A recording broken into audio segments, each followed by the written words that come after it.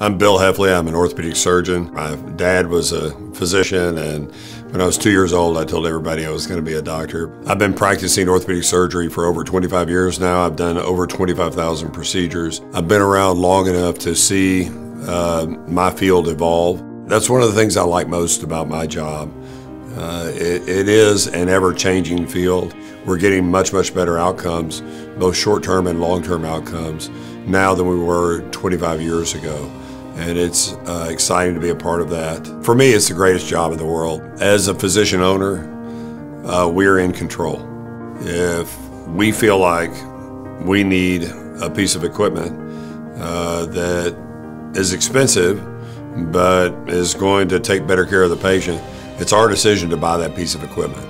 It's nobody else's decision. This hospital was founded on the idea that we could improve the quality of care and we could um, improve the patient experience.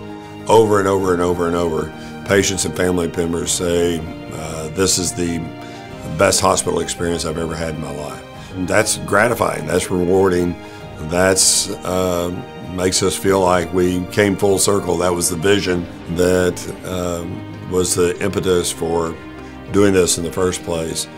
Turns out uh, we are able to make a difference. I love being an orthopedic surgeon. I like to say that uh, if I ever retire from being an orthopedic surgeon and looking for something to do for fun, I'll probably do orthopedic surgery.